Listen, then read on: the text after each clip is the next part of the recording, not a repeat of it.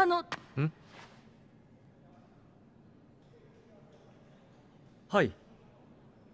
今日言われた通りその黒いティーバッグを履いてきたんですけど。ああそうですか。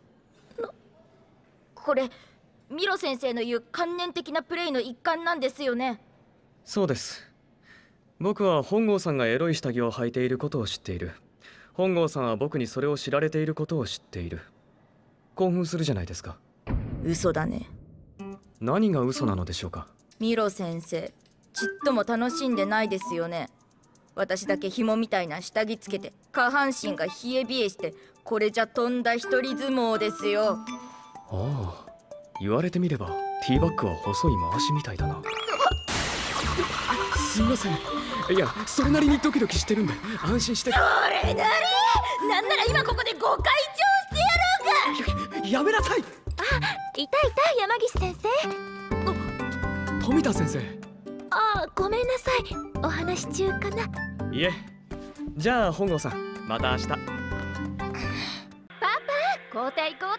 ベンチに動きはあり。えー、いいとこなのに。時間切れです。ドラマ見るの先週いいとこで終わっちゃったんだから。恋の伝説どんな風に恋が生まれるか。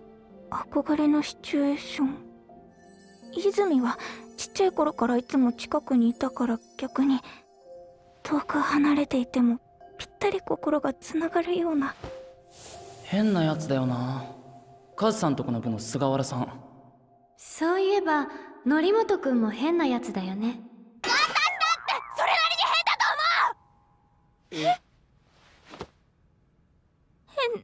と思う私。おううん。よくわかんないけど変だよ。十分すぎるほど。そう変変。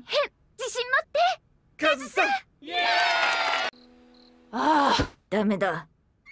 考えれば考えるほどどんどん迷宮入りしていく。もう誰も彼もがくっつけばいいじゃない。手当たり次第。文化祭の最中にどこかでキスしたら恋が芽生える。ってのはどうでしょう？わ乱暴なの来た。あカズさんあなたさっきからずっと黙ったきりじゃないの。